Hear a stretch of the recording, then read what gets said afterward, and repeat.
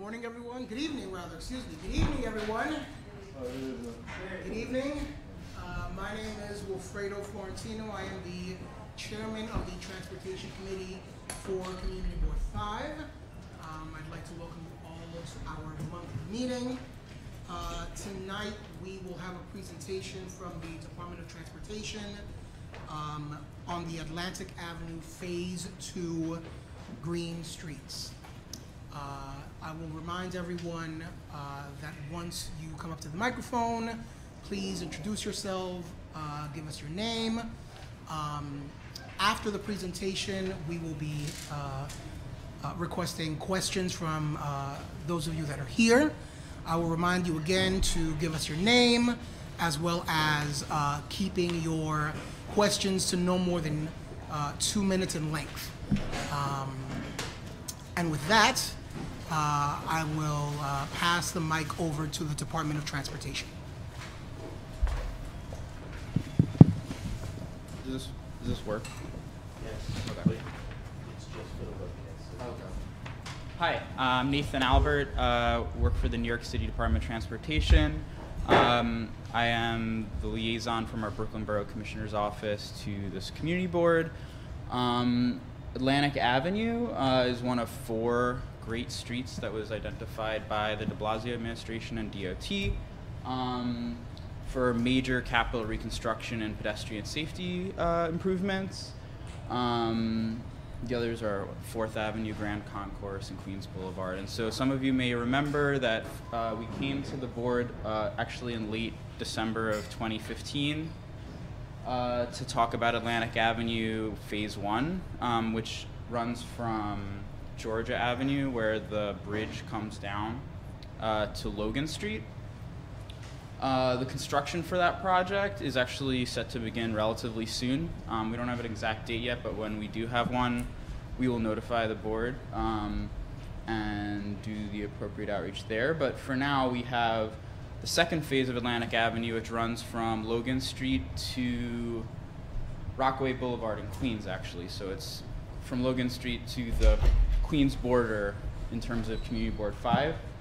Um, and we have uh, major pedestrian safety, bicycle safety, driver safety improvements for this corridor.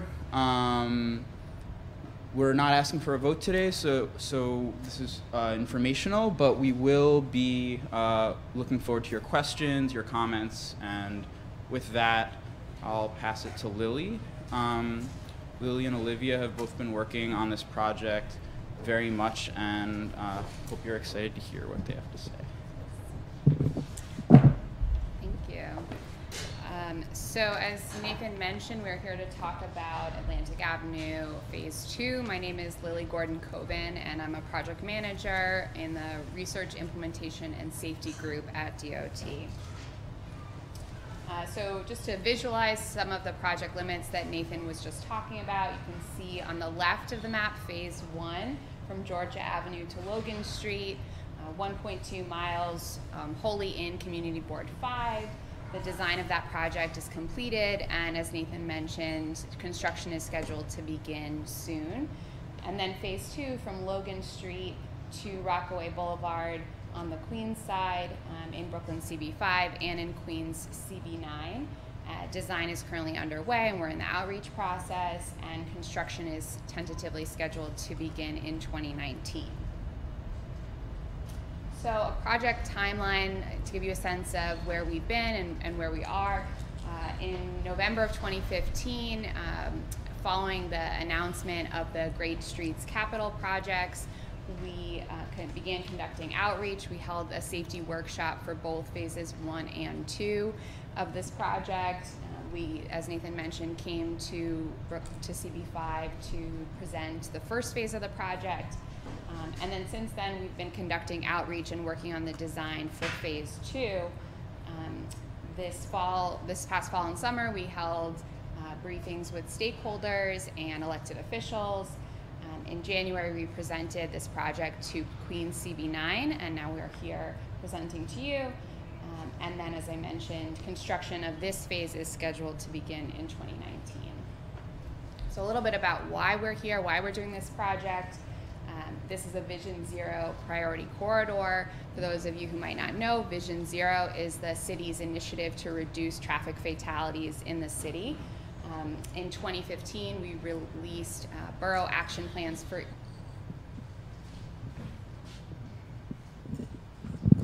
for each city. Is that better? For each city, or for, excuse me, for each borough, uh, identifying priority corridors, intersections, and areas. So those were places where pedestrians were getting killed or severely injured at rate at higher rates than in the rest of the borough. Um, and Atlantic Avenue was identified as a priority corridor in both Brooklyn and Queens. So in Brooklyn, um, uh, 8.5 pedestrians were killed or severely injured per mile on Atlantic Avenue. It was also identified as a great street, so one of four citywide streets, arterial streets, that the mayor identified we needed extra uh, investment, capital investment in to really make uh, dramatic, drastic changes to improve pedestrian and sa- safety for all use and, and safety for all users of the roadway. Um, and then in, in 2017, uh, we released a report called Safer Cycling, looking at trends in cyclist safety across the city.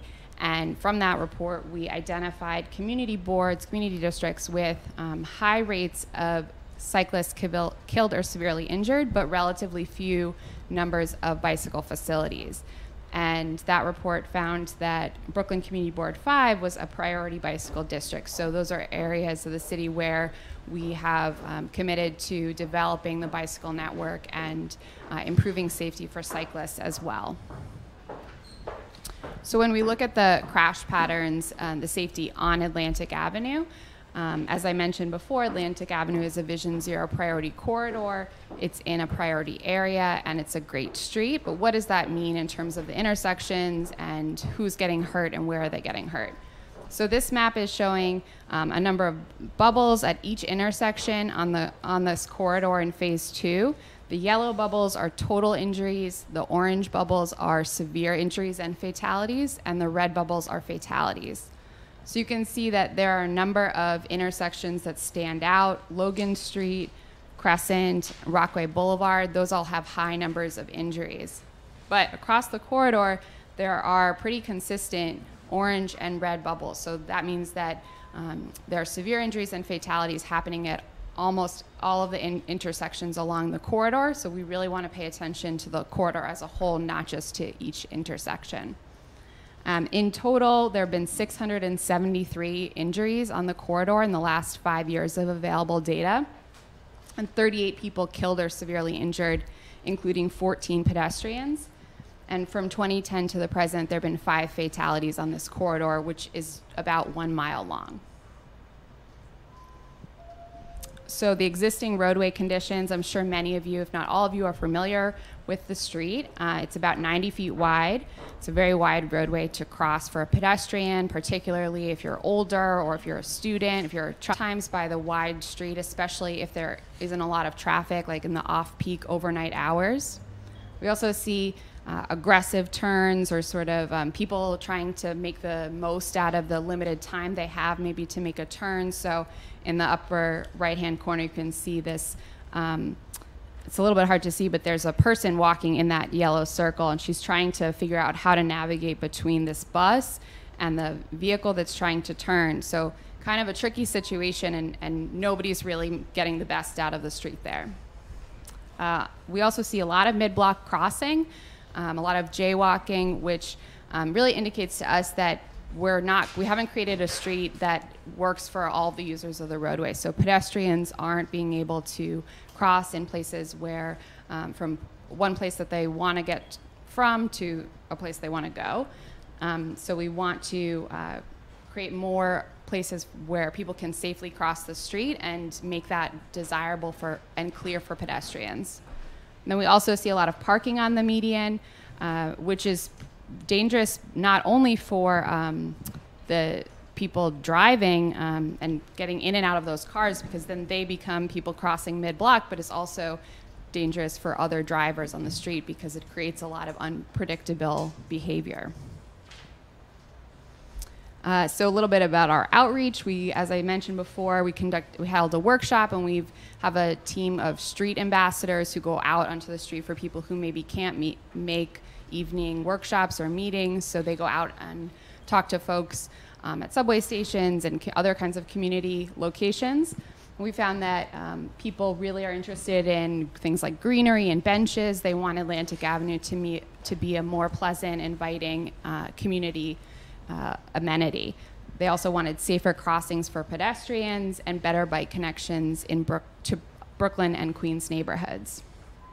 So, as I mentioned, our street ambassador team they distributed over 12,000 project information postcards to schools in the area, um, visited 25 locations, and collected surveys. From those surveys, we found that 85% of people felt unsafe when crossing Atlantic Avenue on foot, which wasn't really surprising to us given the existing conditions. We also saw that uh, 75% rated current walking conditions on Atlantic Avenue as in need of improvement, and 75% said that they would bike more if there were improved bike connections to regional destinations like some of the parks um, and other existing bicycle facilities. So this is an aerial um, schematic image of our proposed design. So uh, we're looking at the street from above, and our proposed design is to reconstruct the center median with plantings. So this is a continuation of the phase one of the Great Streets project. So anybody who was at that community meeting back in 2015 where we presented phase one, this should look familiar. Um, we'll be adding trees and other kinds of plantings to a, the ra- a raised median in the center. We'll also be extending pedestrian refuge space into the crosswalks to create safer pedestrian crossings and slower left turns. And we'll be installing a raised median side bicycle lane, which would be separate from traffic by a curb height to create safe bicycle connections. And then we'll be adding left turn bays and left turn signals to create safer left turns and reduce conflicts, like we saw in those photos before a little bit about the bicycle network in this neighborhood. As you can see, based on the thick arrows, is our project limits for phase two. Um, and then this map is showing the bicycle facilities in this neighborhood now. So there's really limited bicycle connections in Cypress Hills and Woodhaven, um, including to and from Highland Park.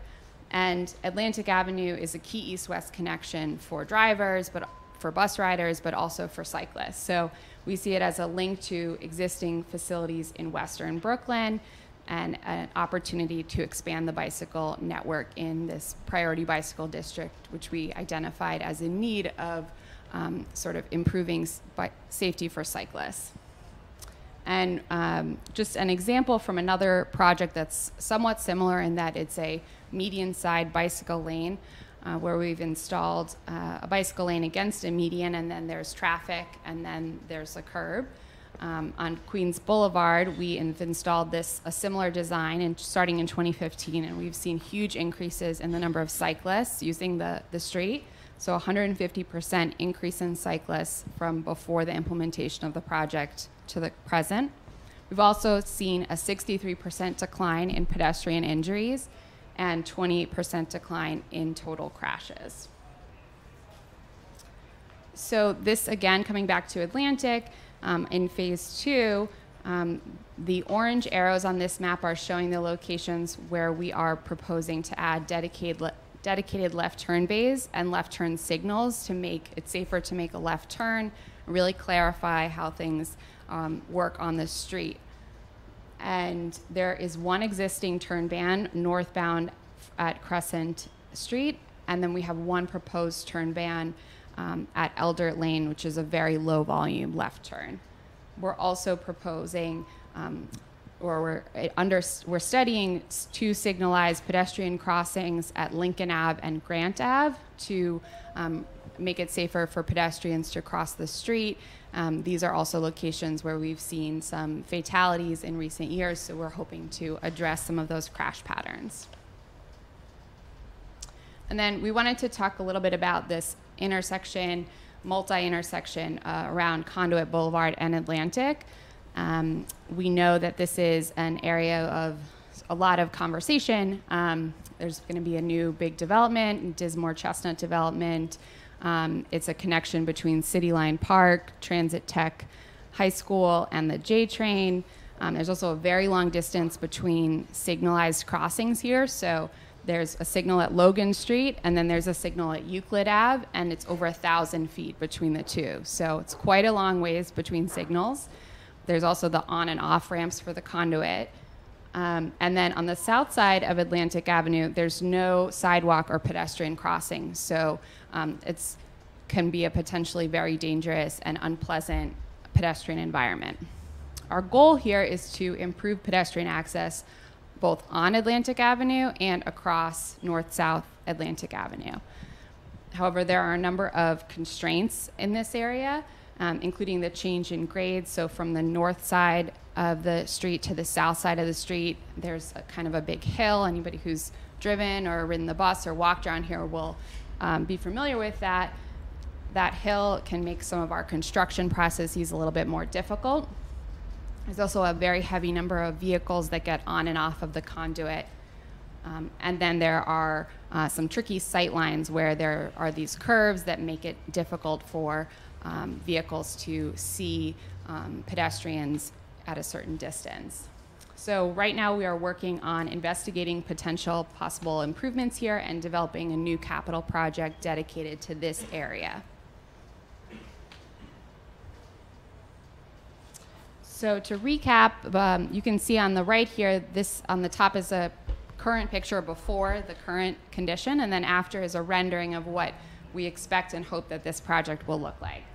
So our the proposed benefits, of the benefits of the proposal are to construct a new median with trees and greenery. Uh, we expect that this will reduce conflicts between motor vehicles, pedestrians, and cyclists, provide safer, shorter pedestrian crossings, creating safer, simpler left turns, installing this safe, uh, high-class bicycle connection in a priority bicycle district, and creating a linear greenway on Atlantic Avenue. So that's our presentation, and happy to take questions um, and hear any comments. Thank you, Lily. Uh, so first, we'll hear from uh, any committee members. Uh, Ms. Brayboy, who uh, has joined us. There are also some committee members um, that are out in the audience. Uh, Mr. Riggins, and uh, I believe there's somebody else in the back from the uh, full board. Um, and so, if anyone from the board has any questions at this point, we'll allow them to go first with their questions. Ms. Brayboy. The, the five fatalities, um, what cross streets were those at?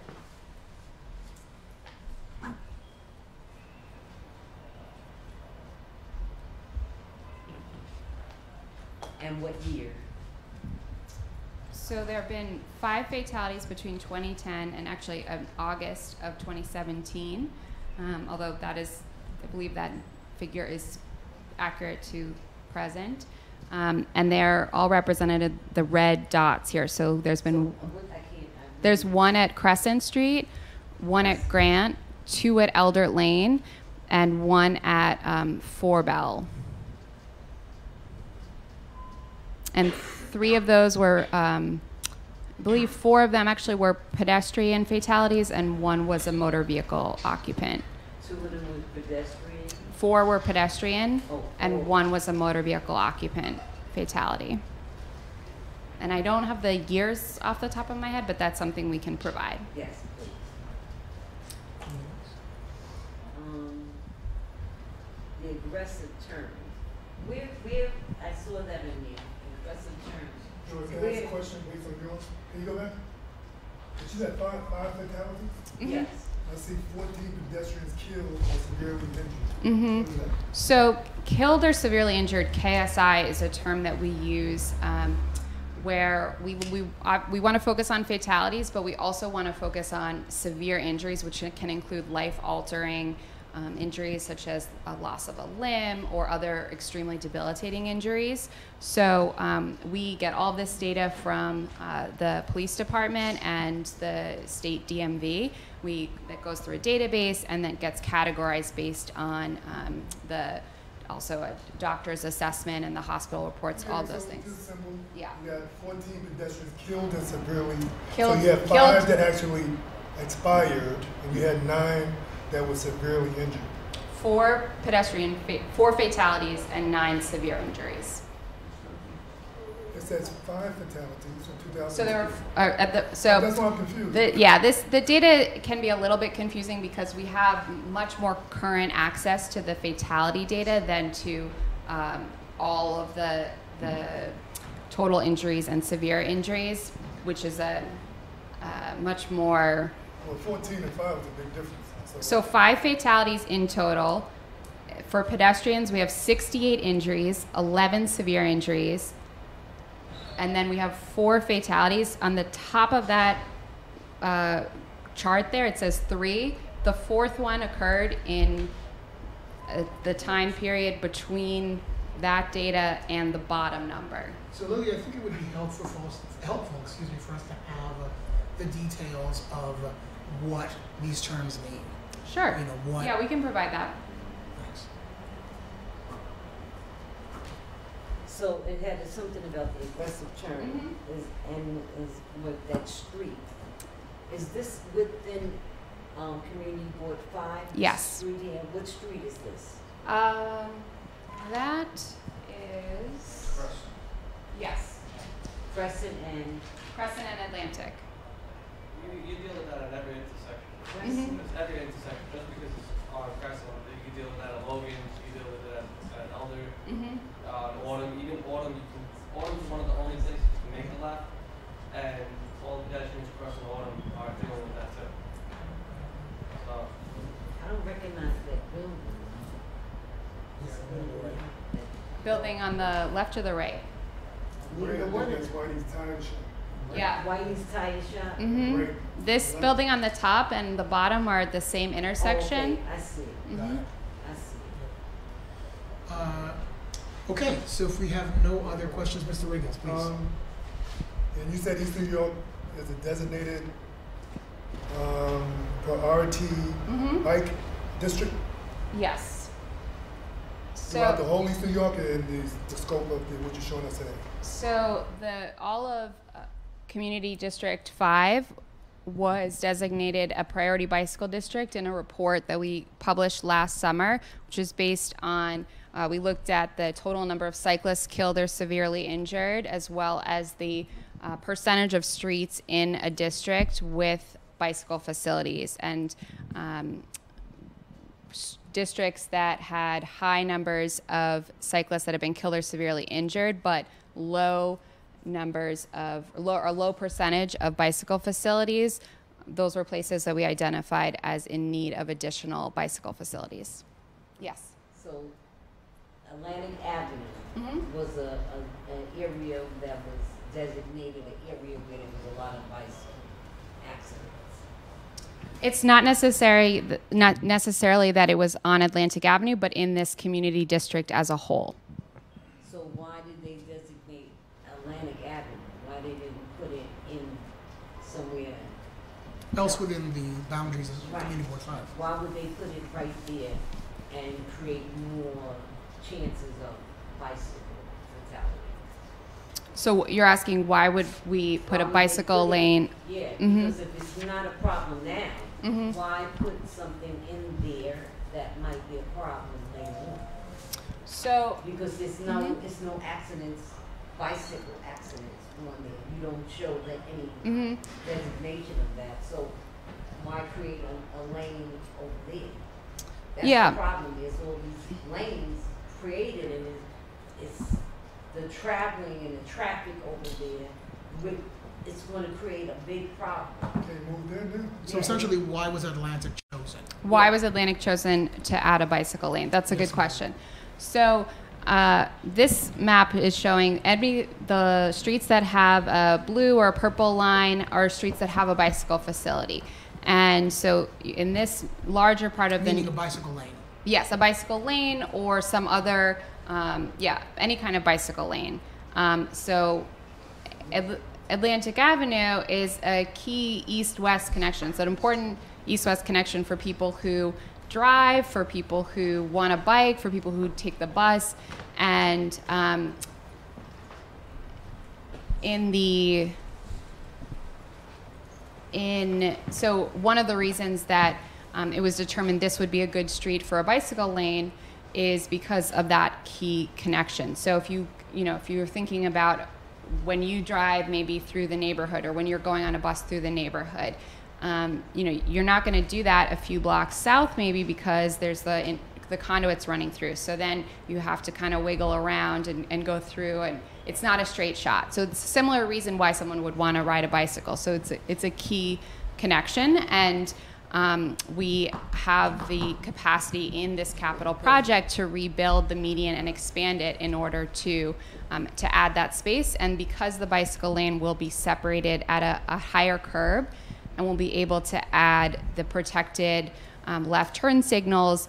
Um, we'll be creating it in a way that is very safe and has been proven to um, reduce uh, injuries and crashes for all the users of the street, not just for cyclists. No, I don't like that. I don't like that. Can I Go get ahead. back with George? Go ahead. Go ahead, So what, what about, um, Liberty Avenue? Less traffic, you got two-way traffic going east to west. Why not a bike lane there?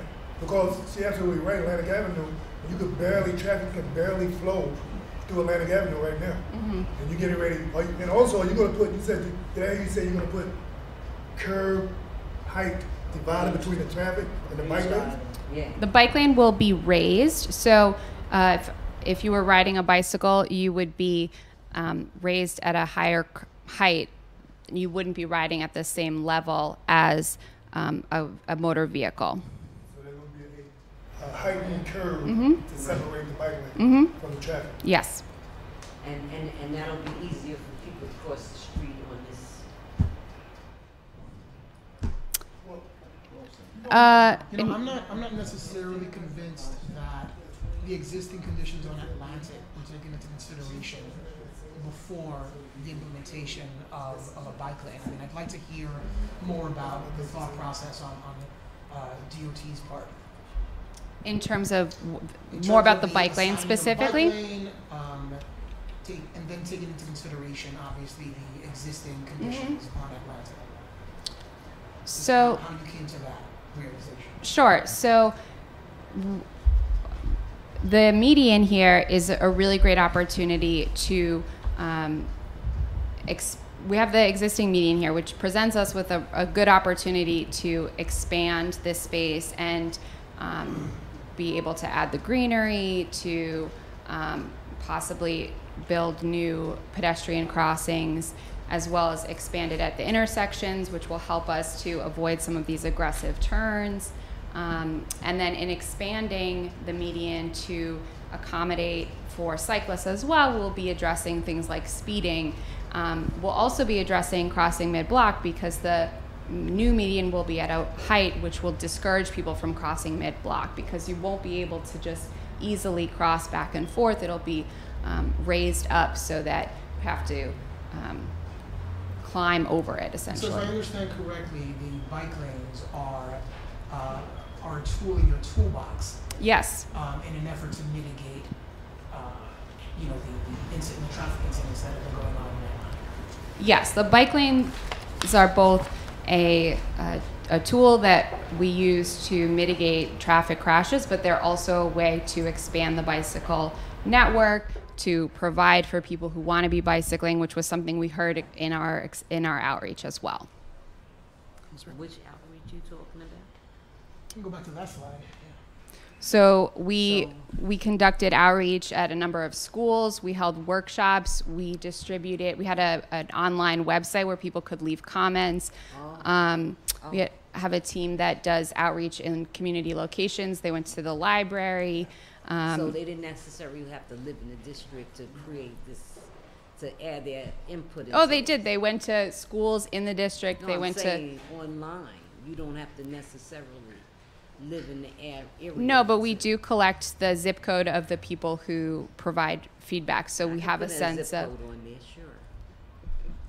Sure. I mean, people can, but we, Yeah. we track that. So we see, okay, if everybody who says that they want a bike lane here doesn't live in this area, How do you then track it on the phone?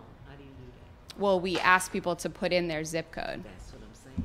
You can't. So, track I it. You mean, only can But we also, word for it. we also, when we go to a workshop and we, we go to schools, we have a sense of, of who's there. And so that helps us balance any, That's any things like How- that.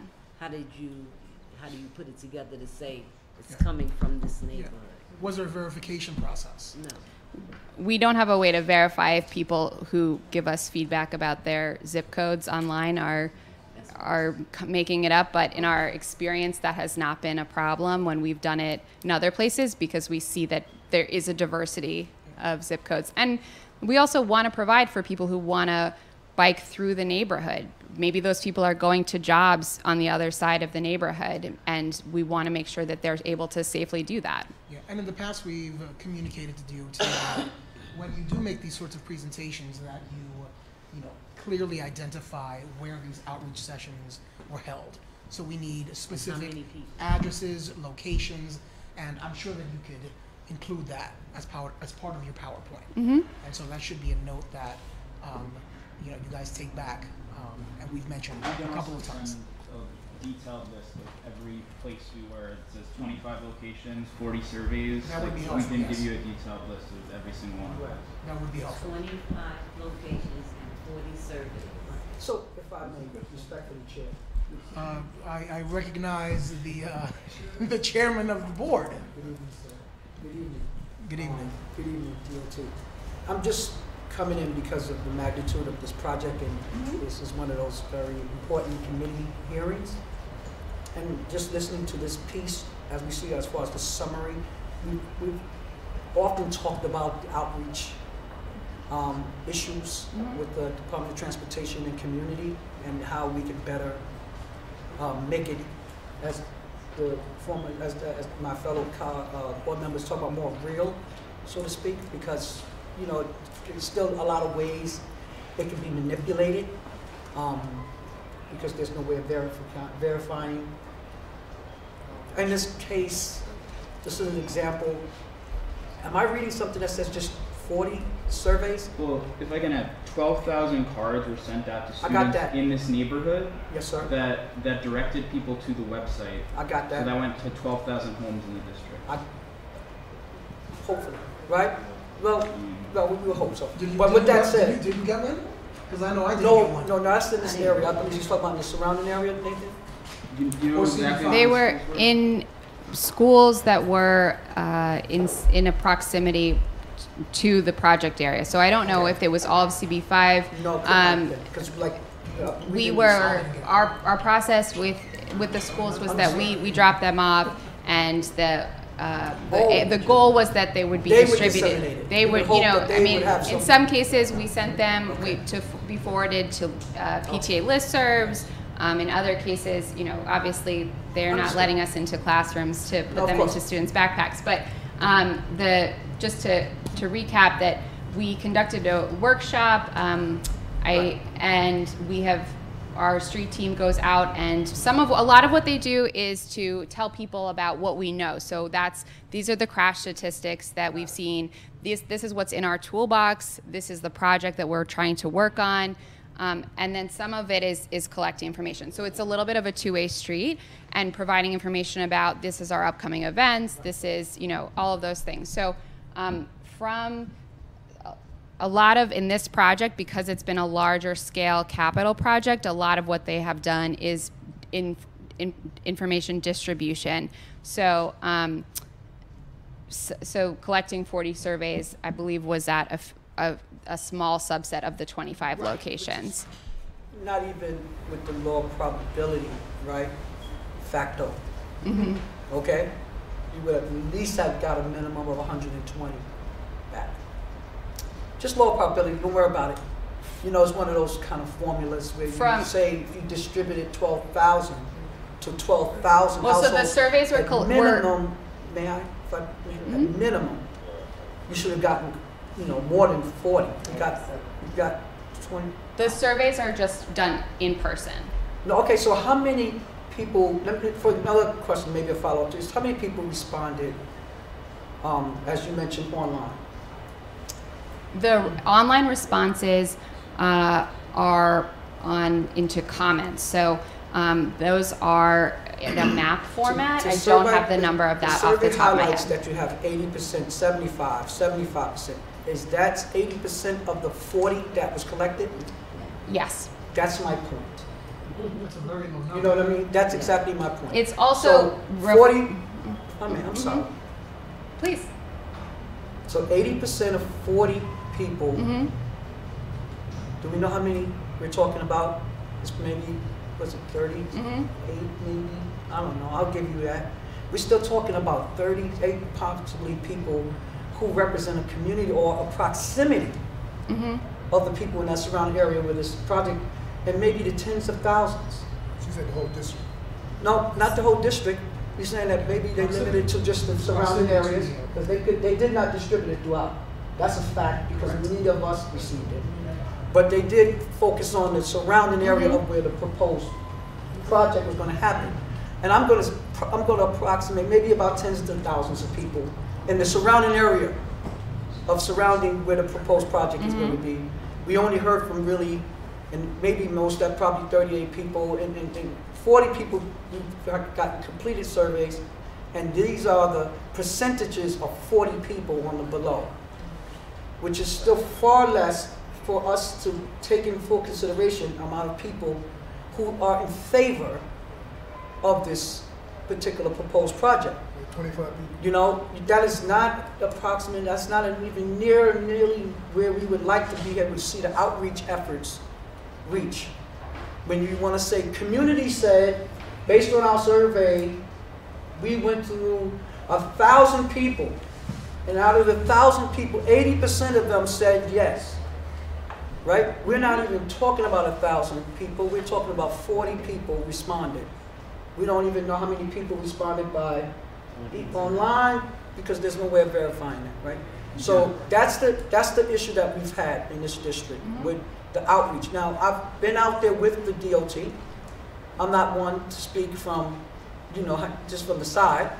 We've offered our district office, we partnered in the past with the outreach team. I see the young man there that's in the picture, I, we, we were there, we were together, hmm out on the streets hmm right? During the hours of hype, like rush hour, so when people are coming home from work, hmm we'd be able to meet them and greet them as they are, knocking on doors. That's what we did the day that we went out there on a project that was proposed for Fountain Avenue. hmm That was our way of just trying to demonstrate to DOT the effort from which the, the outreach is supposed to take. hmm How far are y'all willing to go? Not just taking a stack of flyers and sitting them at the front desk of a school. It's saying we gave out 12,000 flyers, Nathan, to 12,000 families. I would beg to differ. Yeah, I don't go to school. You know, so, and we don't even know in fact if they gave them out because there's no way of, of being able to check that. So if you want to really get a better sound and a better understanding of feedback from public versus when the public sees you guys going in the ground, right? And then they say, what's going on and all of that, and then they're caught off guard, and you guys are already going in the ground. We can't, that's, that, that's, that's, that's in hindsight. We're trying to do a better job in the beginning. And outreach is very, very key, and getting sound community input is even more so important for us, because we want to make decisions based on what the surrounding community and their approval or disapproval of it is. That's what we are here to do. hmm So We this outreach effort strategy. is very, very poor And, um, and ineffective. If that's what you guys uh, have paid to do, you got to come up with a better outreach plan. And if this is what they're basing this Yeah, plan yeah, yeah, and that's, then that's that's for the problematic to people. begin with. and when it Ms. Grayboy. comes, and what it comes down to is that, that when the community says, well, you approved all of this as a community board and we had no, we, nobody came to us. This is what's gonna happen and we're gonna look bad. So we don't wanna look bad. I know I don't. No, we, you're right, I'm with you. You know, so, We're all with you. you know, so, And I'm- uh, Um, I, I'd like to get to the community, but we'll hear from, go ahead, Mr. Wiggins, Okay. leave Mr. Wiggins, then we'll get And the only thing I'm concerned about, because all this is true, and obviously you guys didn't do a thorough outreach process, because Atlantic Avenue is already immobile. You're gonna, you're gonna, you're gonna cut, put in a bike lane, which means it's gonna, you're gonna turn it into a one-lane major thoroughfare, wait a minute, because you still got parking at the curbside. Are you gonna eliminate parking at the curbside? So, in this section, Atlantic Avenue is I predominantly. wanna, I- I'd like you to go back, I'm sorry, go back to the bike lane with the raised curb. Yes. Right. Uh, Yeah, there you go, the bottom left. No, that's a that's a different location with a different set of geometry. Yeah. So that's not ours? That's that's a photo of an example to sh- to talk about some of the impacts, the the after. But that, right, that would, that is exactly what our. No. No, that's just a That's Queens Boulevard. yeah. The, the goal of adding that was just to to point out some of the the effects. Yes. Okay, even if it's an illustration. and you- This is this the is green a was the more bike lane, right? Yes, but that's a, a very different ahead. environment. Uh, so currently, there are three lanes on each side of in each direction and parking. Under this proposal, we would be removing one travel lane in each direction, maintaining parking, and the median would be expanded to accommodate for the bike lane. We've done very thorough traffic analysis that indicates that this will not create additional congestion on the corridor because ultimately that is not our goal, and we want to make sure that uh, the avenue moves and accommodates the drivers as well because our goal is not only to improve tra- safety for pedestrians but also for motor vehicle occupants. So I I'm just not getting that, because if you're gonna, if you're gonna take a bike, put a bike lane in, leave parking, right, before, before we had three lanes, and then you're gonna put in a bike lane, uh, leave parking, how do you, yeah, how do you do that? the volumes have the existing volumes indicate that so typically when we do an analysis of a street before we make changes we collect all the existing data and we see that in our our idea of uh, what is a congested lane is that typically above 700 vehicles per hour give or take depending on the conditions but in this case let's say about 700 is a would be something we wouldn't want to remove a lane in this case, that's not what we're seeing. We're seeing that the volumes at the peak hour are well below that. So there is not, I'd be able to Back to do. what the chairman said, they did on-site investigation and that was not the We case. collect- The other thing that we know is they, they getting ready to do construction over the bridge Yes. Atlantic Avenue. Mhm. That, coming over that bridge is already congestion. So whatever you telling me that your scope is for seven hundred cars coming through there, is not even valid. It's not valid for the people that live there when you use it. Now, no matter whether it's in, uh, thirty-seventh district or the forty-first, we, to come out of East New York, the south side, we gotta go through that area. See what I'm saying? So it really affects everyone.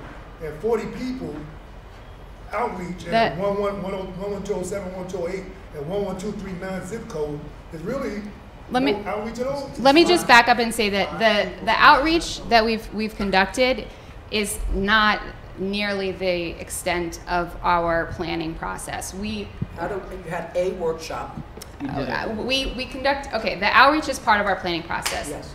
Our planning process also includes very extensive traffic analysis where we, um, we put up cameras and tire uh, tubes that cars run over, and we collect a very extensive amount of uh, accurate traffic analysis. In, for many projects, we work with consult, outside consultants who verify data. Um, so that's a sort of independent process from this outreach. We also have our safety data, which we collect from NYPD. That goes through a very extensive cleaning process with that's that involves the state DMV.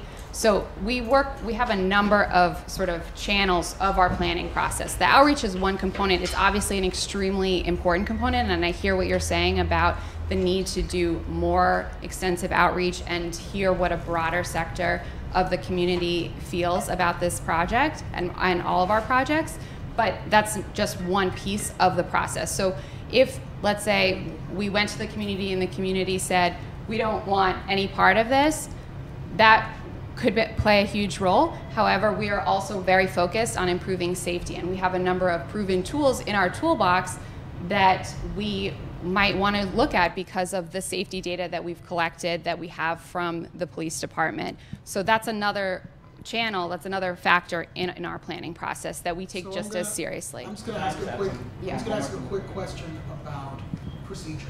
You know, what, what is the procedural aspect of, of this plan and, you know, where, where are we? Can I just add something just to the end of that? Um, the the Atlantic Avenue Bridge project and the congestion farther west on Atlantic Avenue, we're not removing a lane of traffic west of Logan Street. So a lot of the traffic comes off of Atlantic Avenue onto the conduit towards JFK. So the reason why we're able to remove a travel lane east of the conduit is because a ton of that traffic comes off. And that's why so again we recognize there is congestion west of, of the conduit that is bad and we're not touching that. East of east of the conduit though we have a little bit more flexibility given the the, the traffic numbers we were, we were able to, to get back. So maybe you can answer my question, which is, where are we in the grand scheme of the process? And for for phase 2 hmm So because this is a phased project, phase one and phase two are on slightly different timelines. Phase one is scheduled to begin implementation in the next few months. Um, when it says initial construction, initial construction is, is involves getting permits and really setting up um, the very very pre-construction really. Uh, so for this project, where design and outreach happen sort of simultaneously, the next stage of the process involves um, what we call final design. Uh, we conduct a little bit more outreach, and then we ultimately um, have our construction scheduled to begin in 2019. So between now and then, um, a lot of what ha- needs to happen is the finalization of design and uh, working with contractors and um, sort of really scoping out some of the those details. So you are still accepting feedback uh, that may go into the final design, is that correct? absolutely Mm-hmm. Um, um, one last thing about greenery that they was showing in the pictures here, The excuse me, can you say it again? the greenery. The greenery. hmm And if you looked at the greenery that you showed, it was really bad. It was It's horrible. overgrown. It's overgrown, hmm and, um, who is responsible for maintaining that? Because that's, you put this greenery in, I'm Mhm. telling you, I was just going to church yesterday, I, I was at Queens, and crossing and passing through that greenery, I was really taken aback, because I was Mhm. scared. Becomes a trash pile. Yeah, I don't know what was in there. I'm Mhm. just scared, you know. So when you see stuff like this, and I Mhm. love green, you need there has to be a a, a plan to what a Sure. maintenance and up Absolutely. And I have not seen that Mhm. throughout e- um, Brooklyn and or even hmm And for this project, because it's one of these four Great Streets capital project, there is uh, a maintenance contract as part of the project. So with with uh, with DOT with an DOT. Olivia, if you could just introduce yourself. Hi, I'm Olivia Gibbison. I, am also. That mic is not working. I mean, everybody's holding that mic. I'm sorry. We don't have a PA. I'm Oh, sorry, I'm a little So under the weather, so I'm gonna do my No, best. No, no, no. Microphone. Um, We Mine need is for the recording not for uh, Yeah. Um, so, not so the the the median maintenance contract will is set up through DOT. So DOT is funding the maintenance, and there will be um, a bid, and a contractor will do the maintenance. But it is DOT's responsibility. So that for this project, for the Great Streets project, there is a there is a specific maintenance contract attached to that, run through DOT. But they didn't uh, sign it yet, right? All right. All right. So we're gonna, ma'am, we're going to now um, ask for questions uh, from the audience. I'm gonna ask that you raise your hand. I will acknowledge you. Please stand up. Give us your name, um, and keep your questions specific to the topic at hand.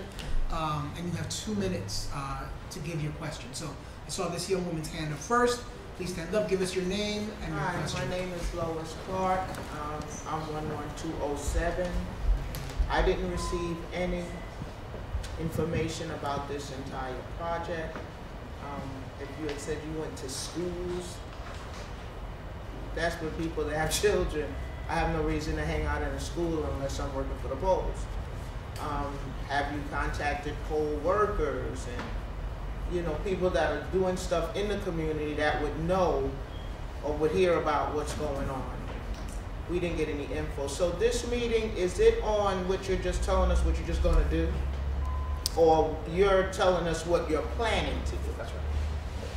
That's, I wanna know, you know, the whole project that you're saying, Mhm. is this just letting us know, okay, this is what's gonna happen? Mhm. Um, we've already decided, or we're trying to see if we can do this? Is that's what this meeting about? So we're interested in in feedback, like you know your comment and question about the the maintenance and and um, any specific comments about the project that you have. If you have specific feedback um, in terms of the major design components, um, those are not necessarily things we would be able to change. But if there are specific feedback um, or things you'd like to see, um, that's something we're interested in hearing and and. So this meeting is just for any suggestions we would like to suggest. This is already decided. I just wanna know, you know, is this gonna just be done and we're just being told what's gonna be done? That's, I just wanna know if it's set. Is this concrete? That's all. It's not final finalized, but We the don't know what that means. We don't know what that's not final, finalized. means. It's yes or no. it's Yes. it- yes. Oh, Wow. I'm very surprised and I appreciate that. Because I did not know that that was procedure, that the city makes these decisions for communities, With 40 of their opinion. Then why go through this whole formality? In fact, if the decision is already Why are we made? here? Why are we here? Right. So that it's for the record, so you can Yes. say that you've had another public meeting with the community Yes. board? yes.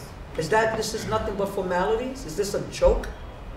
Definitely not a joke, but it's something So we, we take very seriously. Our, our we have a responsibility to notify the community of the work we're doing. Or the work that you're going to do? And not In- asking in- community of their opinion about such work that's proposed? That's why I kept referring to it as a proposal. So this is where I thought that, which these things were before, on this level, it says proposal benefits. So I'm very surprised to learn that, because then we should take it back and we should have some way in which as a board that we, we disagree with that formality. That there's, that there shouldn't be this sort of, like this is a joke. Like if you're gonna go forward with your plans anyway, why are you asking us our opinion? It doesn't matter. Someone else is thinking for us and deciding for us. Mm. And that's what we, that's what we stand strong against. And that's our problem with the rezoning. And it's been always our problem with the city as far as, it's, you know, as you guys handle our community. You can't just do that. You can't be dictated to. You gotta take us into consideration and not do some flimsy outreach sort of effort and say, check the box that we, we made a presentation before the community board. Moving on to the next. So we're wasting our time. There's no sense in us even going any further we have no real set input, no impact on you all's decisions. And I- I'm just very taken aback by that, and I'm going to speak to the Department of Transportation, the Commissioner's office, or whomever else, or the mayor's office, as to that procedure, and how's that said, that's, that's the way these things go. I don't, I don't agree with it at all. Thank you so much. But while, but while we're here, they are going to hear from the community and the community's concerns and the community's questions. I recognize the gentleman in the back. Please stand up, give us your name and your question. Winston Lawrence, one one two zero eight. Um, couple of, could I, a couple of questions, and thank you for the presentation. My understanding is that this is the second phase of this Great Street project. Am I correct? Yes. Was this board notified about the first, about the first phase? Yes. Yes. Do they know about it? December 2015, we had a meeting um, and we presented it, and the work should begin in uh, later this year or later this season, and the board will be notified before that work starts. So this board knows about phase one, Mm-hmm. Absolutely. and this is phase two. Correct. So the board has a knowledge of, was there consultation for phase one? A similar process. Similar process? Mm-hmm. And the board knew about that? Mm-hmm. And so this is the second phase, you're continuing from that. Okay, I just want to be clear. Ma'am. My name is Mayan Moreno. My family lives in 11207, and we live on Atlantic Avenue. So, and I don't know who got the mailing or not, but we got it. We got a mailing for a survey, and we got a mailing for a meeting. And the meeting was about uh, there were changes on Atlantic, and we wanted to know what you wanted we get to see all that traffic. We get to see people who are, you know, who are clipped or who are hit or car accidents because it's really heavy. So we understand why they're not doing that on our side of the avenue. We live past Logan towards Pennsylvania. But on the other side, I mean, after Rockaway Boulevard, I mean Rockaway, the, where it's supposed to end, it's two lines. It's two two lines of traffic. People are coming already from Crosshair, Woodhaven, and it's two lanes, and then it, com- it becomes three. So if they take away one lane, it's the same thing. Only they once they get to Logan or once they get to the Conduit, it becomes the three lanes because everybody's coming off the Conduit. There's madness. That's where it's like really. So my question, my question was how it's going to affect phase one where we're. But right now, whatever is happening in Atlantic is not working. It's really dangerous. Where we live, I mean, we have crossings on like either side, but if you want to get to Van Siclen, the A train, the J train, if you have to cross, you have to really like maneuver traffic. And some people have been hit. I don't know how many have been killed. Hopefully none. But people are, are like risking their lives to cross the Atlantic. So we like changes. We want to see something different because whatever's been done before, it's not working. And it's it's a shame. Like other other neighborhoods are getting changes and we're not. We're sort of like 25 years and we see the same thing, the same thing. So at this point, it's either no change or something that's going to do it. And I'm seeing things on Queens that they're like taking away lanes and supposed to be like super traffic heavy, and all of a sudden it's like no fatalities. People are not getting hit as much. So my family and I are willing to give it a chance. It's crazy because it's super crazy traffic, but at the same time, I'm, I'm, I'm not for change. I'm not for like leaving things in a way that's not gonna work because it's not working right now. It isn't. And uh, every time my, my cousin goes out to work, because he has to go to the new lots, he walks all the way from Atlantic to new lots to catch a train. It's like a 20 minute walk. He's doing that because there are no connections, and he cannot bike either because, to be honest, most of the traffic past Atlantic is like you share a car and your bike. And my my cousin is young; he's younger than me, and he's willing to take the chance. But we don't like it. I take the bike sometimes. I have to share the traffic. I don't like it, but I have to do it because, to be honest with you, I cannot afford a car, or the insurance, or the parking, or whatever's coming. So, right now, this for me, I've been part of those sounding sessions, and we got to say, oh yes, they need a light here, or they need to do something there. So if they can do it on my side of the Atlantic, I want to see something like that. Because right now, my family, or yeah, they're at risk, and I don't, I don't think it's right. You have a block association? No, or at least I have, I haven't heard one. And I've been attending the transportation recently because I found out about it. I think the community board is doing more to let people know that they're out there to help, like people in my in my side. But before this, it was you know you got to hear things sometimes, like once in a while And how did you get notified, in the mail. You get something in the mail, They but we mailed live right letter. on Atlantic, so Because maybe they didn't because. say anything about mailing anything. But we got something in the mail. Because they live on Atlantic. Yeah, so that. Yeah, but they didn't say that they mailed anything out. Yes, or at least that's how we found out. The meeting was at Warwick and Atlantic. There's a public school there, and that's where we went. There were a whole bunch of people there. We were not the only ones. I want to, I want to thank you for your comments, and um, I would like to inform you that uh, every committee is allowed at-large members, which uh, are members uh, of the community that participate in the meetings but are not technically members of the community board. And you and I can talk about that offline because you have been coming to our meetings regularly, and I would love for I you think, to I think. have a I'm more part of- active role. Oh, I see. All right, thank you. Okay, we're gonna talk about that offline. Um, uh, I see this, uh, young lady, then we'll go with the police officer, so ma'am, if you could just stand up and give us your name. My name is Jacqueline Folsom, I'm in one one two oh eight. I know we're discussing phase two, but is there anything for me to see how phase one, because that's the part that I'm interested in, phase one? Just, that I can see what your final analysis is gonna be for phase one, because right now, I'm on Berriman Street. I used to be able to get across Atlantic Avenue or go to the other side. Now there's no left turns. So I have to go down here to Queens to make a left turn just to get on the Interborough or, so is there anything that you have that can show me what the final analysis will be for phase one from Pennsylvania? Yeah, Pennsylvania down to Logan.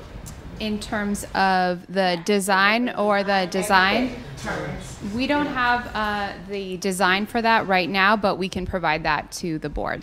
And to, we can take your contact info and get that to you. Yeah, and just to summarize what it would be, the, the major parts of the design proposal that's going to start construction, I'm sorry. The, the plan that's gonna start construction early this year, um, for phase one. Um, I don't know if you wanna go back to the slide that shows sort of like a, the rendering. It's basically what we would be doing in phase two, except no bike lane, but it'll it'll still have the raised uh, the raised and planted median, and then at intersections. I don't know if in the uh, uh, overhead shot it shows. Um, there's no there's no examples of uh, curb extensions, but the, there will be uh, in uh, I don't know over at least a dozen locations. Um, expanded curbs, um, so it's shorter distances to cross. Um, new, uh, safer median tips, so you can wait in the middle of the street without fear of getting hit f- uh, for the light to change. So a lot of just like little fixes at, at intersections uh, to make it safer for pedestrians, but there's like 20 or 25 intersections in phase one, so we can we can give you the exact details of it. Pedestrians and cars here. Yes. Yes. Get in and out. Mm-hmm. Officer, You answered my question with, uh. just give us your name, please. Officer Diallo, sub five, I'm a a highway safety officer, so I'm focusing all my attention on Atlantic Avenue. I'm mainly sitting on Atlantic and, uh, Logan Street, which is one of the main intersections where a lot of people get hit by cars. And I see, so landing and Logan is terrible, and I'm, you can't make the left, you can't make the U-turn. Um, westbound traffic, you can't make the U-turn. There's signs all over the place on that, uh, yield to pedestrians and in crosswalk. Um, so Atlantic and Logan is a terrible location, and I, I noticed that you said you wanted to put a light on Atlantic and Logan to make a to go northbound on Logan. Um, That's of which would, it would cause a problem to a certain extent of Atlantic and, uh, Atlantic and Penn. So you have people most likely taking that left turn only straight, and it may cause a, a car accident for people like uh, sideswiping each other, because now the person's stopped, quote unquote, in the left turn only lane, and then they're disobeying the pavement markings, the green light, and then they're also just gonna go seem straight on Mhm. Atlantic. But, you know, coming across that, the, my question was no bike lanes in phase one. No. Correct. Okay, and then for phase two, I, I agree with you guys on the extent of it's less traffic. As soon as you, as soon as the conduit hits, you're, you're, you're, it's totally less traffic, so I'll have to get to. So, I'm, I'm sitting on Euclid, and for Euclid and, uh, Atlantic, that, uh, underpass, a lot of cars are speeding, so I'm writing speeding substitutes. So, because now, you're coming out there, and you're going forty-five miles per hour, and it's a twenty-five mile safe zone. So, a lot of people are speeding, and now they're, they're taking that as a ramp to just take off and, uh, fly down Atlantic. Doesn't that camera work? No, well, there's no, the cameras are, are laid down, Yeah. well, Euclid, they're original camera. Yeah. So, Oh, okay. but then with uh, Crescent, I've seen that sign been up so long, no one, not a lot of people do make that left turn anymore. So then. The left turn ban? Yeah. Mhm. Like on, on Crescent Atlantic, that sign is beautiful, because now no one makes that turn. But were you saying that, Come out of Berriman, you used Yeah. to be able to make the quick ride in the you're left, talking but what you see now, That's Highland. So now Highland, they put a sign, no left, no U-turn. Right. Berriman, you can, Berriman Street, it's, Berriman Street, you could cross and go west, you can, or you could make the right turn. Yeah, you You have go- to, you have to go one way or the other. Yes, Berriman Street, now people are using the White Castle as a cut through. No, And that's causing, no. that's causing. That's, but well, that's- it's only one lane coming out of that, on Exactly. highway, so you get that's- stuck. But you can, but Trying to do that. cut through No. an actual violation, you're not allowed to use it. No, you're not allowed Yeah. to use that. But, so for Berriman Street, which is in phase one, you could, you gotta make the left turn and then go north to get close Fulton Street. Right, or, um, I used to make it where, at Logan, make the right and then go down to Yeah. Logan and make the left. Now 'Cause I'm- Logan can't, so now But now you can't, um, and you gotta go, when, when, when people are making that left turn on Logan Street, everyone's confused. They're like, how can I, how can I get to Right. Jackie? How can I get to Fulton? Right. And I, I, me personally, I tell them, make the Jersey left. Go down Milford Street, go down Montauk, make Yeah. the left on Liberty, Mhm. and go left. Which, y- you know what, it's, it's gonna save the car accidents, because now making that left turn on Logan is, is Yeah. very uh, dangerous. It's, da- people making U-turn to go to Wendy's. I come down Liberty, I'm Yeah. down, I have to, like, consciously remember, Use- make the use- right use on Liberty and not Liberty, and then make the left Yeah. on Logan to go Yeah, across. Because Logan Street is, and that's where, that's where we mainly stay. Logan Street, we've had the, this year alone, we have three people hit by cars. So, Logan Street, they, we need to fix Logan Street, and then what they're, what they're trying to propose is a great idea in my eyes. But don't get rid of the left turn on Logan to go south.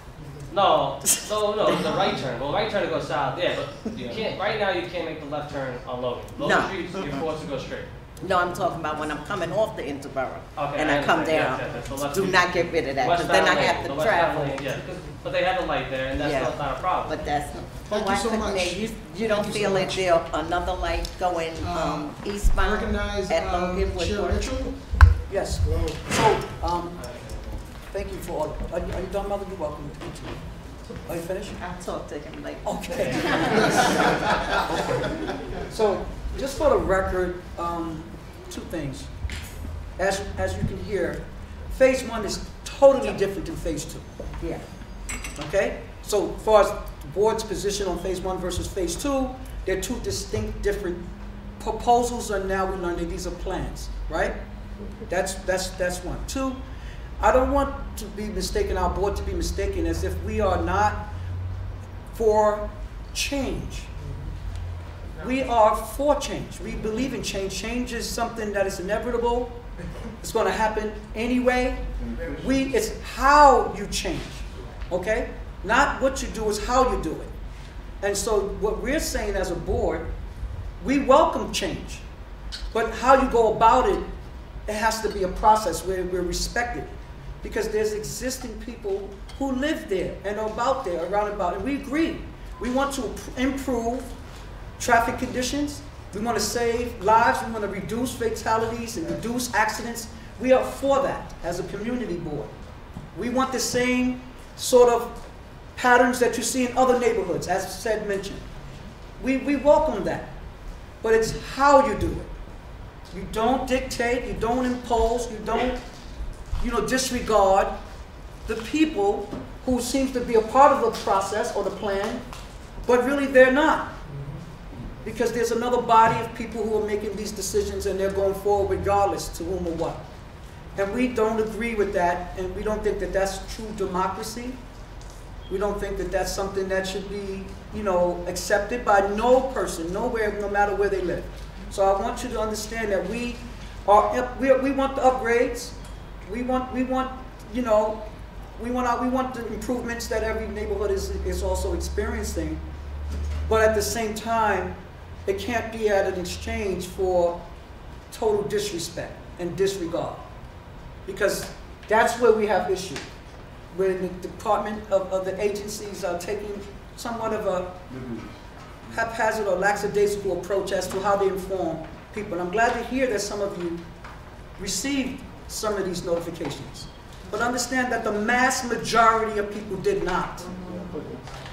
And so we can't just speak for, just a few of us can't make a decision that impacts tens of thousands of people. You know, we have to do a better job.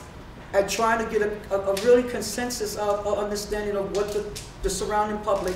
I'm glad that the police department and this highway traffic division is here to add their testimony because it, it's, it's, it's on the ground, it's, it's, it's, it's real, and it's important for us to note that we do agree, based on your data from your other studies, that this is very dangerous, you know, sort of intersections and, and, and, and, traffic patterns. We want to improve it. But it has to be with, we want inclusiveness. And that's really all that we've been saying about this whole rezoning period. And there's reasons why Atlantic is focused on versus Liberty, versus Pitkin, and versus other neck of the woods that community must understand. What's also at play. There's a reason why they're prioritizing Atlantic Avenue than they are some of the side streets where people live, and they also complained about their streets and need improvements as well. But the department is not prioritizing that. This is where the rezoning is focused. And so, as a result of such, they have now become the priority uh, as far as who receives the resources. And so we have issue with that as well. And so these are things for the record that I'm making very clear that, you know, and I want public not to be mistaken or confused by the boards, committees, um, positions that we have taken respectfully. We, we actually are your voices. We, we take in everything into consideration that you all have said. And we open that you, please, if you do have further contact and communications or ideas, that you let our district office know. That you contact our committees and so forth and come as the chair has mentioned, out to the meetings so that we can hear more of your voices. We welcome you and your input. And we thank you for that. So I just wanted to end with that, respectfully. Sir, you had your hand up. Yeah, could I have a, could I ask a clarification question? Yes, Did the board have any say in the rezoning? Did you have, did you give opinions? We about that? reviewed the entire rezoning Okay, that was proposed at one point, that is now a plan of action, It's been, we, uh, we voted. okay, Uh, we gave, we're an advisory board, okay, all boards are advisory, okay, so we kind of give our advice, okay. but that's it. You would think that others would listen to the advice of the community and the opinion, opinion and position of community. And so, um, normally, in, in most cases, the elected officials who ultimately have the vote listen to the advice of the community board and other bodies. But in this case, our board voted against the rezoning. We did not, as a board, agree with all three phases of it. However, the borough board, that it went to the next phase, they uh, concurred with the community board, and they voted against it as well. However, when it went to the city council, thereafter, or the city planning, excuse me, city planning after the borough board voted for it, and then it went to the city council uh, uh, level, and the city council member for this district voted in favor of the rezoning, and most of his colleagues went with that council member's vote, and so it was voted up, and ultimately, the mayor, who ultimately signs off on it thereafter, all of those processes, of course, went with the vote of the city council's body. So, city council voted against us in overwhelming majority, um, except for a few council members who voted alongside the community voice and the borough um, board's vote. So that's the democracy. That's all That's what it democracy. is. So, so you're right. So with that said, so we now have since have accepted the fact that we've been the, the rezoning is coming forward. So now we shifted our our position as a board, and now there was a number of different promises made. One was that we will take your further, you know, opinions and advice going forward more seriously, right? So you know, we're now in a police stage, so to speak. We got to make sure that they do everything that they say they're going to do it, how they say they're going to do it. And so we we're not complaining over spilled milk. As a community board, we moved past that. You know, we're now focusing on making sure that the, it's how they do it, not what they do now. It's how they do it, and it doesn't it doesn't disregard us because that's been our position all the while. This confirms the board's original position as to how communities like ours are treated when the city or other special interest folks want something in their favor. You have your hand up. That's interesting. I mean, I, I, I got an invitation to wanted to say attend the something? meeting, so. Oh, okay, I'm sorry. Yeah, I mean- Okay, understood. That's okay. But So- I, I, went to a meeting, I went to a meeting that was stalled, so I don't, some people maybe got and some didn't get, maybe Yeah. same thing with surveys, but, but I went to a meeting. Yes, understood. And, and I heard, I went to a school building. Good. Mhm. I'm glad you attended. That's good to know. And I'm glad to hear that and learn that some of you did attend it. But, you know, I'm, I'm being frank, and this is no disrespect to the individuals that work for the agency, Yeah. but calling a spade a spade, they're disrespectful. And they don't just they don't regard community as best as they could and should. Okay? They do a very lackadaisical, light approach to solving and saying "Ah, we got community's feedback. They got to do much better as an agency. And, and that's really what we're saying. So how can you watchdog that or rectify that from this point moving forward? Well, we take note. That's what this hearing is all about. This is what, you know, we have actually now, all of this is public record. So we're putting this in, um, pretty much making notice that we, uh, dis, you know, disgusted with the process. Right. And so as it continues to go forward, we can constantly pipe it up and keep taking the issues of disrespect to the other authorities of our elected officials levels and so forth, and hopefully they will concur or side with us in understanding, and they too will have a chance to ask these uh, agencies similar questions relating to the plans as well. I hear you, but most, you know, it's unfortunate, but the reality is they go with the money. Money talks. When you have a low income community, and people with big interests coming in, want to spend money, re-gentrification, all that, you know, sad to say, it is you know, people follow the money. Even like you said, the, who went to it, all of his cohorts and co-workers and agreed with it. They, they, so it's, That's why Atlantic Avenue getting flowers now. Which is also why it's important that we do more of this. As a community, we come together and we kind of constantly just keep communicating with each other. right. um, and trying to get more people to turn out in other neighborhoods and other communities that are much larger. Not that it matters, the, the few of us that's present is, is suffice for this meeting, but we just got to continue to just rally the people so people can all say something at the same time and give off a louder sort of voice. And that's how sometimes things get, you know, halted a little bit, and maybe there's some changes made along the way. But we, we are certainly on our way. So I don't want to take away from your presence here tonight. Right. Uh, I- I'm like, I'm I'm sure I speak on behalf of the committee. We would want to thank you for attending because this is what we, what, why we volunteer our time to, to, to, to do. And we would like, you know, for it to continue going forward. Okay? Thank you. There's some, there are some systematic issues that are present that the uh, chairman has mentioned. And these systematic issues are the sorts of issues that we're trying to dismantle. And the only way that we can dismantle these issues is one meeting at a time. And that's essentially why we're here. It's to bring, uh, you know, focus to these issues to the agencies that, that need to hear it. Um, I was about to, I was about to ask for any other questions, please. Because, um, they said that they were gonna supply some information that they failed to bring to you guys, like the outreach planning, um, the rest of the statistics, the schematic for phase one. So they're gonna give you, didn't I, that, that you will. If anyone else who's not a member of the board would like to see anything in s- in particular, just, you know, give us your contact information and we can get that to you. Could you just give it to the board too? Sure. Yeah, Oh. I, Yeah. I took all We those have a, things we have down. a process, and- we have a process for doing that. They would give it to the district office and the district office Mm-hmm. would disseminate the information. But we are gonna hold DOT accountable for getting us the information that they, uh, offered to bring to us surveys today. you got for phase one, like thirty-five? That's a, another good question that I, I have to say I was not as in, I was not involved in the planning of phase one, so I can't speak to that. Okay, uh, do we have any other, Yeah, one more question. Mr. Riggins, please? Phase one, there is no bicycle lane. That's correct. So if a bicycle is coming down Atlantic Avenue Mm-hmm. and they take the side road next to the bridge, what direction would they have to go in order to stay in compliance with the traffic rules and regulations? The bridge, you, you're talking about towards, George, let's say Georgia Avenue. They're on Georgia Avenue. so there was no, there's not gonna be a bike lane Right. in that, in this section. So basically, from the end of the bike lane, which, uh, in, in phase two, No, I continuing, want- okay, continuing let's west. Keep it simple, keep it simple, layman terms. If, if a bike, if a, if a I'm bike- coming from Yes. Ocean, Ocean Hill.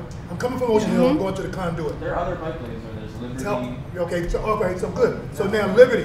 Yeah. So why would you divert someone off of Liberty onto Atlantic Avenue in phase two and put them in a heated traffic zone when they could have continued on Liberty across the conduit? Over there, those, the bike lane on Liberty does not continue all the way east. It's only in the area around, uh, like Ocean Hill. It goes all the way to the conduit, Liberty Avenue. Um, yeah, but the bike lane doesn't. But I think the. I'm That's saying, the that's bike lane. that's my, oh, I mean, we can we can look into we can look into to extending that bike lane. We can look into No, changing. but I'm that. saying, what is, what is the logic for you to divert traffic, bike lanes onto Atlantic Avenue in the middle of phase two when there was none in phase one and they already had access to our, to East New York? I think- That really, who, I mean, who's making those? Makes no sense. The, as we, you know, and as the officer pointed out, the, the traffic is lower in phase two than it is in phase one. That's something that we've seen from our traffic analysis. understand all of that. We- So that's where specifically part of the now, logic. Mm-hmm. Y'all did a survey and you realized that, that those bike lanes would have to be on Liberty Avenue going certain distance west, mm-hmm. right? Which was the end of phase one. I'm not sure I understand what you're saying. We, we didn't do a survey. on- I'm not for talking about a survey. You, whatever plan, you got bike lanes on Liberty Avenue, right? Now, right now. Right Yes, now. yes. But see, these are not hard questions, because you gotta know what phase one is. So you have bike lanes on Liberty Avenue in phase one. Yes. Proceeding west until they get up to phase, phase two, and then you divert them onto Atlantic Avenue. Off them. From Liberty to Atlantic Avenue. Not from Liberty. There Excuse me? There is no bike lane on Liberty. in- in Right, that's two. what, that's So what your we're question saying. is why can't we extend that? Come on, these are not hard questions, man. Why would you not have a bike lane continue on Liberty and put that bike lane on Atlantic Avenue when it could have, you could have continued that Liberty Avenue bike lane all the way to the conduit? So because it's not there, I mean you didn't plan to put it there, that's the only thing. Well, so we Atlantic Avenue is a uniquely dangerous street in terms of pedestrian and all, all users. So we have this focus on Atlantic Avenue. Oh, so you're saying bike lanes will make it more safer? It's a Yes. tool, as Wilfredo said, it's a tool in our toolkit. We, we there's excessive space for cars east of Logan, as we as we as we mentioned. And so this is a way. Sorry, this is a way for us to calm traffic and also provide a safe path because there are some cyclists that do use Atlantic, even though there's three lanes and it's very unsafe for them. So this is this provide this provides for them, and And pedestrians also have to consider being, being hit by a bicycle, because that happens quite often. So you, see, that's what I'm saying, if the community board was really involved, I don't think, I think they would have made that suggestion the, in the initial phase, to have that go all the way through phase two to, to the conduit. Just really don't make sense putting bike, bikes up there now, why, for what? They don't have to. So, just to, to back up a little bit, our project, this project initi- was initiated because of the crash data on Atlantic Avenue. That's where we as an agency are coming from. Our goal is to reduce traffic fatalities. So, when we find a pro, when we identify a project, that's the first thing that we're looking at. We come to this idea of bike lanes through that lens, and that's one of the ways that we have one of the tools in our toolbox that works on Atlantic based on the geometry of the street, based on the existing traffic volumes, based on the connections in the neighborhood. So, but everything that we do is through the lens of reducing the number of people who are killed or severely injured on the street. And that's really our goal at the end of the day. And the, the reality is that the most of those people who are killed, hurt, even if it's just a, a you know a rear end crash, those people live in this neighborhood. So that's our goal, and we know that you know that maybe people in the community you may feel different ways, but sounds like there are people who do feel that this is a good idea. This is a this is a tool. I don't want to be long-winded, let me just interject. We understand, because we went through this whole rezoning process Mm-hmm. in detail, hundreds of hours, hundreds of hours, right? I can understand, everybody gonna agree to safety. But you could make, you could put a safety component on Atlantic Avenue without putting a bike lane. The bike lane is the mayor's initiative, and that's, that's his thing, that's his baby, so no matter what, he want bike lanes. That is, that's, that's not even practical to have a bike lane on, up on Atlantic Avenue, um, and, and, say you're gonna increase safety. You know what's gonna happen? Bike is gonna get hit, bicycle gonna hit pedestrians, that's just the way it is. You didn't come with any statistics on the accidents of bikes. Yeah, there are. There, are, we do have that. We know that there aren't as many bicyclists hit on Atlantic Avenue. No, wait, which is an incomplete study. We already know that's an incomplete study because you only This is uh, the, com- the data that we have to date. We don't have the mo- data that's to present because of, it, this is the data that we have available to us at this time. So you got bicycles, you got fifteen. Yeah, You're missing the last five years. And, and that's the, that's Which means you the, don't have data. So there is no, you have no data to, to base it on that it's gonna improve safety. this is the data, most recent data that we have. You And it can't, you can't get more recent data than this eh, for any street in the city. Well, the only thing I'm saying, you don't have enough data to make a definitive answer of whether it's gonna be safe or not. That's a selling point that you bring into our community to get us to go along with it. When we've installed a very similar design on a very similar wide arterial street with, ju- with very high crashes for pedestrians and motor vehicle occupants on Queens Boulevard, this geometry of the street is a little bit different. A lot- a lot But the, different. A lot different. it's a lot different, but the, the design of the, the bike lane against the median, okay, that's, that's kind of the, the design that we put in here. What we saw is that the numbers of bicyclists went up 150%. What we saw is that safety for pedestrians improved 63%. There was a 63% decline in pedestrian injuries on that stretch. We also saw a 28 decline, 28% decline in the total crashes on that stretch.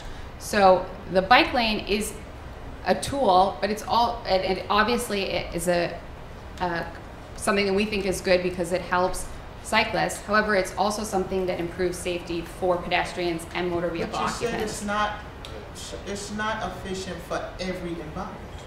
It's not right Every for- environment. I mean, now does Queen Bull, Queens Boulevard have like 50 left turns? You got to go to Queens just to make a left turn. Do they have It's all Lakeside in terms streets? of so you know we think about Atlantic Avenue as a key you know it's in this east-west connection right that you can't It's a different type of neighborhood. It is a That's different kind of it's neighborhood. Residential, as, as residential as East New York. So it's a Mhm. whole different type of neighborhood, Queens Boulevard. I go through Queens Boulevard all the time. No way is it in comparison It's- to Atlantic Avenue. It's a No different way. kind of neighborhood, but in terms of the fact that it's a long arterial street that runs across the boulevard, it's very similar. And the fact that if, if you. That's the similarity, the length of it. Because how If many you- lanes is it across? It's No, eight travel lanes across. Residential area compared to industrial, commercial, business, all of that is It's in- on in- on, on Queens Boulevard. Restaurants, stores. Queens And the Boulevard speed has limit. way more different types. The of speed limit is both 25 miles an hour. shopping areas, it's all kinds of. There, that's the citywide speed limit. However, they were both identified as great streets as part of this Vision Zero Great Streets project because they have, they, they do, they are different. They do have different land uses. They run through different neighborhoods.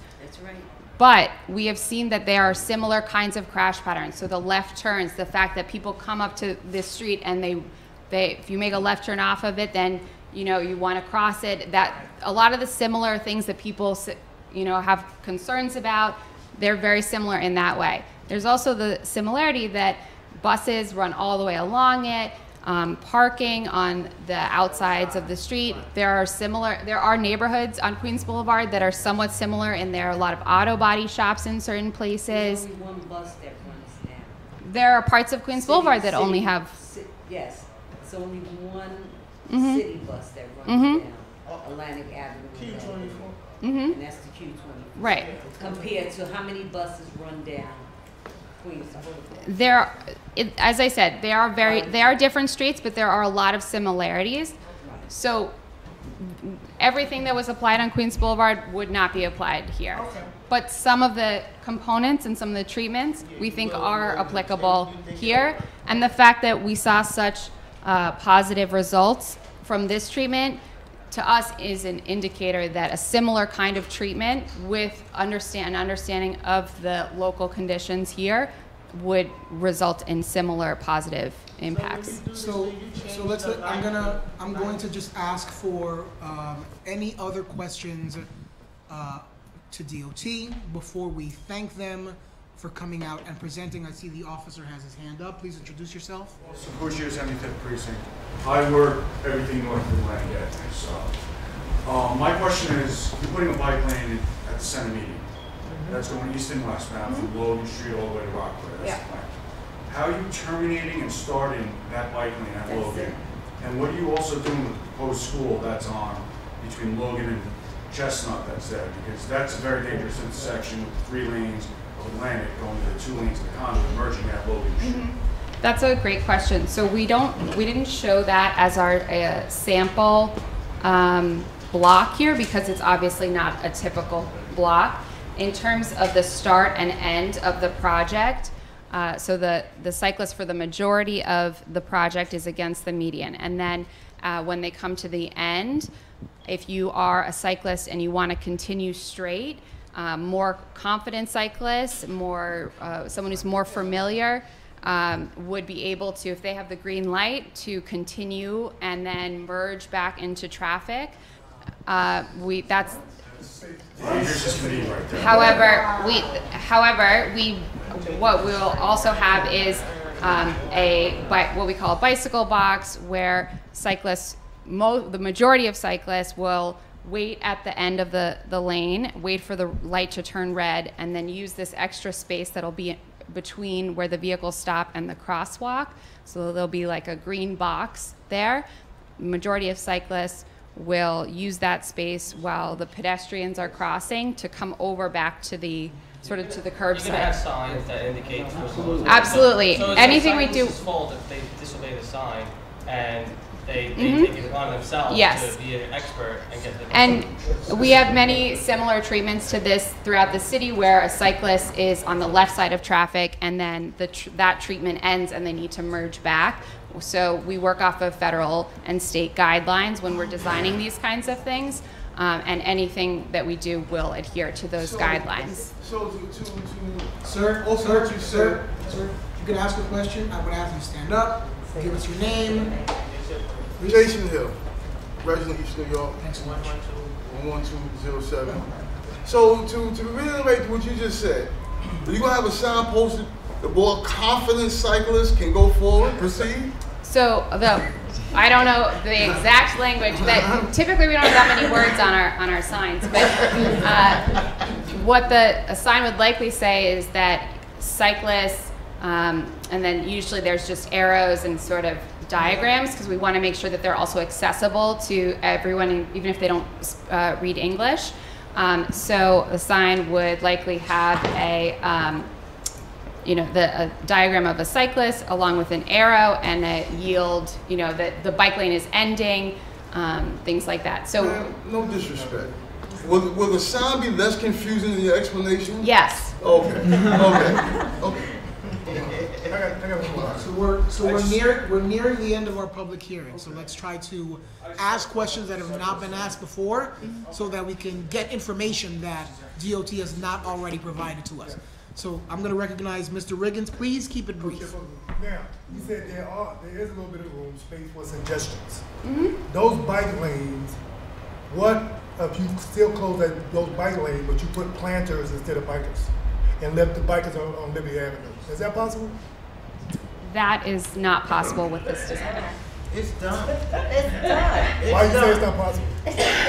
That is uh, outside of the scope of changes that we're able No, to it make. cannot, it cannot be outside of the scope because it's a suggestion coming from the community. Yeah, there's still requested I mean, we're, we're happy to Accepted take the, a comment about it, uh, about just talking to the, the chairman about it. That's- That's all I want to know. Listen, uh, Nathan, our uh, DOT rep is writing, so that, that's a good sign. Cannot be out of scope. This is rezoned. We got plenty of Uh, money. this So- is not a part of the rezoning. Not at all. Uh, the last, This is not related last to two questions I'm gonna take, It's a gift. Mr. Riggins. It's not related to the rezoning project. Mr. all. Riggins, excuse me, excuse me, excuse me. Sorry. I left my gavel at home, but I'm gonna bring it next time. I'll bring it. Y'all think I, y'all think I won't, but I'll bring it. I got, oh, I got one.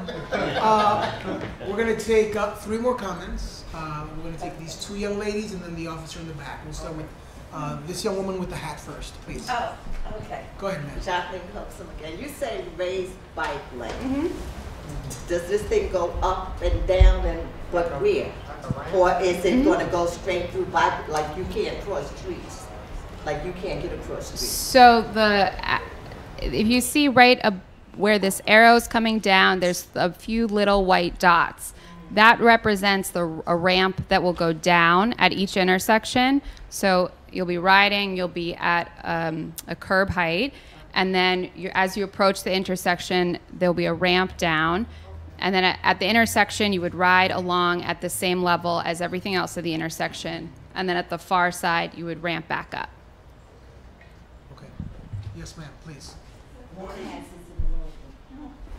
So, Mayor Loretta, so the south conduit, you know how it's, it's the conduit exit onto Atlantic going to Logan? And so heading to Pennsylvania, you know how they merge? They Mhm. merge onto Atlantic, so are they putting a light there in order to stop traffic? So when you have cyclists ending at Logan, or any kind of traffic coming on Atlantic towards Logan, they're gonna have a full stop, so you, there's, I don't know, it controls that, that, that yielding intersection? So you're talking about the the vehicles that are merging with the Yeah, with so on from conduit and the vehicles on Atlantic. The north, Yeah, yeah, North, then, then. North Conduit Atlantic into. Westbound. Yeah. East and- east and west. that Mhm. one. Right. Do you want to? No. So we will not be adding a stop control or a signalized control there because of the volume of traffic there. Just So how so, so it's the bicycle path, the bicycle lane is ending at Logan, but there's, they, so not only traffic is sort of trying to yield to each other, but also mm-hmm. bicyclists. So the bicyclists actually, so Right. I was going to answer this before. So actually, the the bicyclists will do the sort of the, the transition to the curb um, that we were talking about at Rockaway. They'll be doing that at Euclid. So they'll already be at the curb when they're approaching uh, that that merge. hmm All right, so the last comment this evening from the officer in the back? No, it's, uh, yeah, you, that's good. yeah, that was. You guys are good? That was, yeah, that was my. All that was my right, thing, 'cause I so we would like to thank Lily, Olivia, and Nathan from the Department of Transportation. Let's give them a round of applause. Thank you. You will be, you will be hearing from us, and we hope to be hearing from you with the information that you're supposed to get back to us on. Um, Nathan, if you wouldn't mind staying uh, a little bit uh, for some old business. Sure. Uh, Ms. Brayboy. Yes, okay. Nathan, we were, um, discussing it. Hold on a second. Uh, and if you would, if you are not joining us for the remainder of the meeting, I would ask that you excuse yourselves quietly, please. Thanks so much. The meeting is still going on. Ms. Brayboy? the study at Loring and um, Fountain, and the and that intersection crossing over into the project area. Remember we asked about doing another study and um, the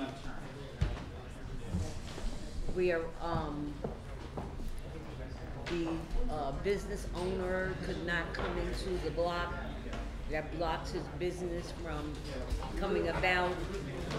And then, um, do you, you reviewed the request and what? Yeah, so you have, you have a number of requests. There was one where you wanted us to get, um, because of that new, the, the new way the traffic patterns were, there were issues with cars that were queuing into the car wash around the block, and that was causing a traffic jam. So we requested signage to clear that curb over there, so like a no standing sign, um, and we got that in. Um, his other request, though, was